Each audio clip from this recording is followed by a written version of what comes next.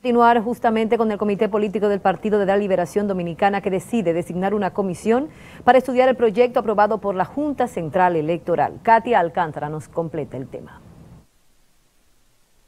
Al concluir, el secretario general del Partido de la Liberación Dominicana, Reinaldo Pared Pérez, expresó que en la reunión del comité político solo se tocaron básicamente dos puntos.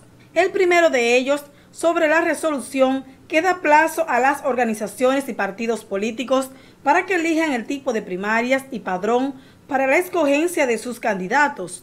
El PLD reiteró y ratificó esa petición hecha por nuestro delegado político a la Junta Central Electoral a los fines y propósitos de que ese plazo se extienda hasta principios del año próximo, enero, febrero, hasta marzo según lo estime conveniente.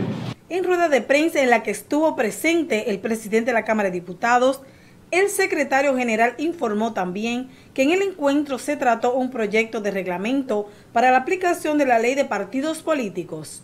Sobre el particular, una comisión le rinda un informe al comité político para su próxima reunión a celebrarse el primero de octubre de este año.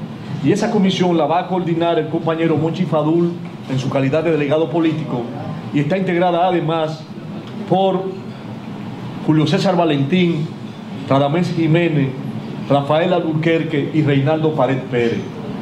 Ese, proyecto de reglamento para la aplicación de la ley 33-18, que es la ley sobre partido político, ha sido sometido a la consideración de los partidos.